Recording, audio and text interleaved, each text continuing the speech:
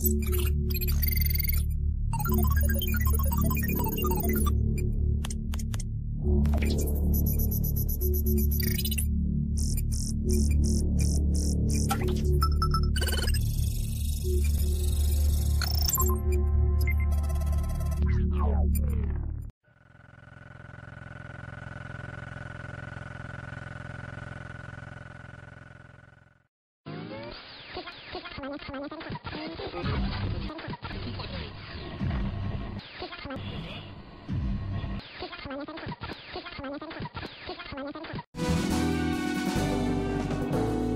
Nouvelle qui fait la manchette aux États-Unis et partout à travers le monde. Et euh, bien sûr, euh, j'ai pensé inviter Jean Cazot pour en parler. Euh, deux pilotes commerciaux qui rapportent avoir vu un ovni en quelques minutes dans deux avions différents.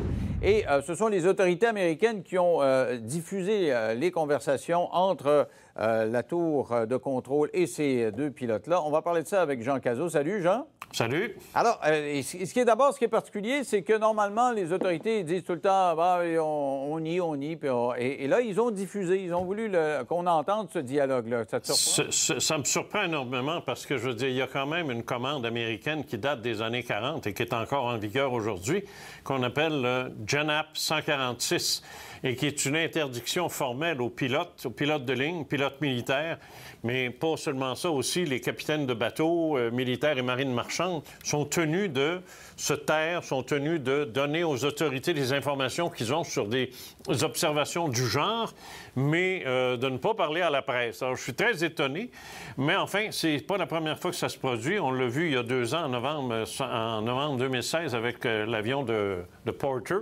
qui avait fait exactement la, même observation entre Ottawa et Toronto. Donc, euh, un pilote l'avait vu et euh, on nous l'avait présenté, mais ça, c'était canadien, alors qu'aux États-Unis, normalement, on cache. Si tu veux, on va entendre ce, dialogue, mais en fait, il y, a, plusieurs dialogues. C'est un, pilote qui dit à la tour de contrôle, on voit quelque chose de bizarre, euh, et à côté de nous, la tour de contrôle demande à un autre avion qui est dans le secteur, voyez-vous quelque chose? Après quelques secondes, il dit, oui, on voit quelque chose. Puis ça, c'est important, ça. OK, écoutez bien. Oui. 30 seconds ago? Number 71 Papa Golf, negative. Okay. A UFO. Yeah. American uh, 1095, uh, let me know if uh, you see anything pass over you here in the next uh, 15 miles.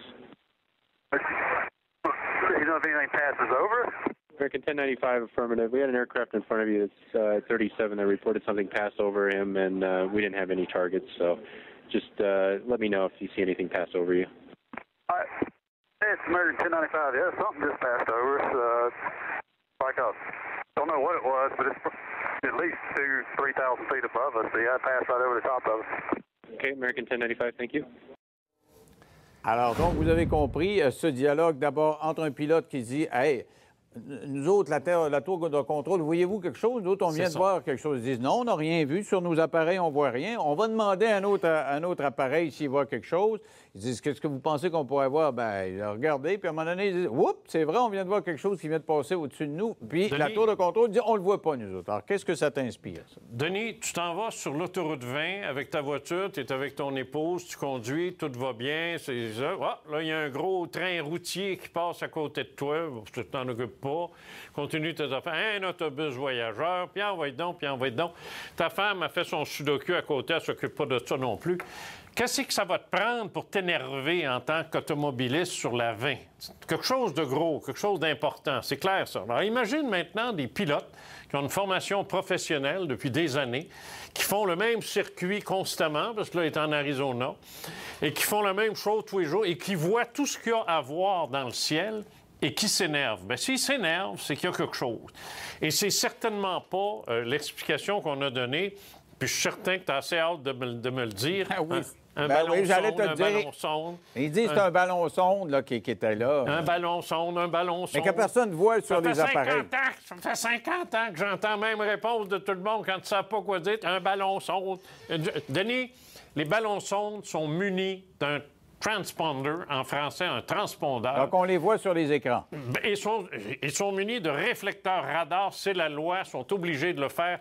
quand il y a un ballon, imagine-toi donc un ballon sonde de 100-150 pieds de haut, puis il ne saurait pas où est-ce qu'il est. Voyons donc, comme ça, ça a de l'allure, tu sais. Et de toute façon, il reste pas très longtemps dans le corridor euh, des avions. Ces affaires-là, ça s'en va 3, 4, 5, 6 km, puis 25 km dans, dans, dans l'atmosphère. Alors, on oublie ça, c'est pas un ballon sonde, d'autant plus que le ballon sonde, il est aéroporté, mais il n'est pas propulsé. Alors, un avion qui dit ça a passé au-dessus de moi, je m'excuse, mais là, là, on ne parle plus d'un ballon sonde. On ne parle pas d'un drone, on parle de quelque chose qui n'a pas de transpondeur et qui se déplace à de grandes vitesses et qui assez pour faire peur, assez pour qu'un pilote prenne le temps de demander c'était quoi ça. Je te rappelle, en novembre 2016, Porter, la compagnie Porter, on était venu, j'étais venu te, voir cette journée-là pour te dire que les pilotes ont été forcés de reconnaître qu'ils ont dû faire une manœuvre à un point tel qu'il y a des passagers qui ont été légèrement blessés. C'est quoi qu'il y avait là devant eux autres? Je te ramène à mon exemple de la vin, là. avant que tu prennes le fossé, parce que c'est certainement pas parce qu'il y a un gars qui t'a dépassé que ça Hyundai, là. Ça t'énerve plus, ça. Alors, il s'est passé quelque chose. Et c'est pas la première fois. Mais moi, je veux te dire une chose. Là, on parle de Porter, on parle d'American Airlines. Je pourrais passer la semaine ici, 24 heures sur 24, avec ton caméraman complètement épuisé, à te raconter des cas classiques d'avions versus UFO, d'avions commerciaux notamment. C'est, ce sont les meilleurs témoignages qu'on peut pas avoir. Parce que là, euh, la petite astronaute là, qui aime ça dire que c'est du monde sous, ben non, des, vieux qui n'ont pas de dents, qui ne savent pas quoi faire le dimanche, qui marchent le soir ça, ça, dans ces routes rurales, qui voient des ovnis. Là. là, on parle de pilotes professionnels, des gens qui ont subi un entraînement, des gens qui savent ce qu'ils font, qui savent ce qu'ils voient. Mais, en fait, ils ne savent pas ce qu'ils voient. C'est ça que le gars demande. Avez-vous vu quelque chose? Je ne sais pas ce que c'est. Et, euh, mais tu as vu, Poutine là, a laissé sous-entendre récemment qu'il se posait d'un nouvel avion, c'est extraordinaire, puis que les, Américains ne le verraient pas, c'est invisible, il, est indétectable sur les radars. C'est peut-être c'est peut un avion-là qui se promène. Moi, moi euh, c'est certainement pas ce qui est arrivé en 2016 puis dans les autres années auparavant. Moi, je te dis pas, je, écoute, je suis pas en train de te dire que c'est des extraterrestres, là. Je te dis simplement que l'explication du ballon sonde ne tient pas et qu'il y a à peu près rien d'autre qui peut produire un effet comme celui-là. Maintenant, là, si tu me parles d'un avion secret, un avion euh, mystérieux, un avion quelconque, moi, je ne peux pas te répondre à ça. Personne ne va jamais pouvoir répondre à ça. Alors, si je te pose une question qui a été soulevée par des ufologues, on dit que les faits, euh, tu l'as dit, c'est en Arizona, et euh, si, tu y vas par le ciel, c'est pas très loin du Nouveau-Mexique, pas loin de Roswell. Où euh, il y avait eu, ça a été médiatisé en 1947 ah quand euh, on disait qu'on avait, euh, y avait un ovni qui avait explosé, qui s'est retrouvé par terre. Écoute, en, en 1947, l'armée de l'air américaine a publié un communiqué de presse disant euh, on a capturé euh, un UFO, une soucoupe volante, un flying saucer. Je veux dire, le, général, hein, le commandant de la base, qui était le, général Blanchard, l'a dit textuellement, ouvertement. Il l'a publié, puis après ça, ça a été démenti. Mais c'est ça que j'allais dire. Moi, j'ai lu beaucoup plus de démentis que d'affirmations là-dessus. C'est ben, normal, parce que le gars venait de faire une gaffe. Oui, mais il y a beaucoup de gens qui ont dit un, peu, un peu de la divagation du commandant de la base en question qui a été promu général 4 étoiles par la suite? Ben, moi, ce que j'ai lu, c'est que c'était de, la, c'est, de la mystique, tout ça, le Roswell. De la mystique? Oh ben, oh ben, de la mystique. Denis, mon Dieu. Pas ça? A man of the cloth.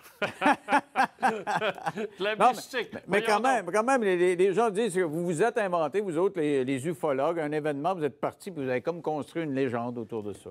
Bien, c'est sûr qu'il y a des gens qui ont construit une, légende autour de ça. ça arrive dans tout. Je veux dire, c'est la légende de Marilyn Monroe puis John Kennedy. Je veux dire, chaque fois qu'il arrive des choses extraordinaires, des événements, il y a toujours des gens pour construire des légendes. alors, alors, résumons-nous, parce que le temps nous presse. Toi, tu mm, penses que Roswell au Nouveau-Mexique, c'est vrai que l'armée aurait euh, intercepté un ovni, puis aurait eu des, preuves, des restes d'ovni, ah, ah, et que ça, ça arrive dans le coin de, Roswell, qu'est-ce que ça t'inspire? Bah, non, là, on est à 35 000 pieds. Je ne sais pas si, euh, si ça a de l'importance. Moi, ça ne m'énerve pas. On pourrait parler de Phoenix en Arizona aussi, qui avait subi des, des, des envolées assez spectaculaires qui ont mis le gouverneur dans l'eau bouillante à l'époque. Mais euh, de toute façon, moi, en ce qui me concerne, ce que, la raison pour laquelle euh, je suis ici, c'est pour te dire, arrêtez de vous faire embarquer dans des explications faciles. Je sais que je suis tannant avec mes explications flyées. Oui, parce que les tiennes sont souvent plus flyées que faciles. Ça oui, mais, mais, moi, je te dis, ballon sonde, oublie ça. Drone, oublie ça. Là, il faut trouver l'explication. Mais l'avion espion, l'avion espion, je fais juste te dire une chose. NORAD est là tu peux pas leur passer des avions espions bien, bien longtemps. Il enquête très solide, ça, c'est sûr. il me reste 30 secondes. Dis-moi, euh, surtout, moi, ce qui m'intéressait, c'est que c'est une des rares fois qu'on diffuse ça. On reconnaît qu'il y a eu un phénomène. Oui, c'est les autorités américaines. Ça veut dire quoi, ça, rapidement? Oui, bien, ça veut dire, ça veut dire que le, secret est en train de se, de, se, de, de, de, tomber en miettes. Ça a commencé il y a, a 4-5 ans. Ça, ça s'est fait au Canada il y a deux ans, puis là, ça arrive aux États-Unis. Mais s'il vous plaît, remercie pas Trump pour ça. OK. Je vais remercier Caso au lieu de Trump. Merci, Jean. Très bien.